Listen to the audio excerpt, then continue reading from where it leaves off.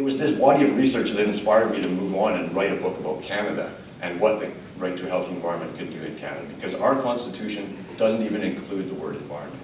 Our Charter of Rights and Freedoms does not recognize our right to live in a healthy environment. And I want to give you five compelling reasons why that needs to change. First of all, as many of you will already know, Canada's environmental record is at the bottom of the pack. The second reason is that our poor environmental record is having impacts on human lives. The World Health Organization estimates that 30,000 premature deaths in Canada each year are attributable in whole or in part to environmental risk factors. The third reason is that our Constitution, by not talking about the environment, has created a real problem of uncertainty about whose job it is to protect it. The fourth reason is that Canada has three founding legal traditions. We have the French civil law, the English common law, and we have a body of indigenous law. And this magisterial work by Professor John Borrows talks about the Indigenous Constitution of Canada, which includes as a fundamental cornerstone environmental rights and responsibilities and the rights of nature.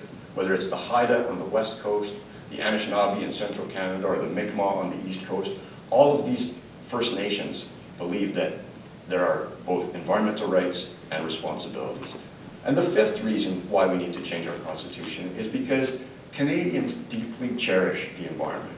We're proud of our great Canadian landscape. I mean, you only have to look at Molson beer commercials to know this is great. but the David Suzuki Foundation has done polling, and over 90% of Canadians believe that the right to a healthy environment should be recognized by governments. And I'm not saying that the constitutional right to a healthy environment is a magic wand. It's not. But it is capable of leading to the kind of transformative and systemic change that we need for Canada to make sustainability a genuine priority, and so that Canada can become a cleaner, greener, healthier, wealthier, and happier nation in the future. Thank you very much for your time.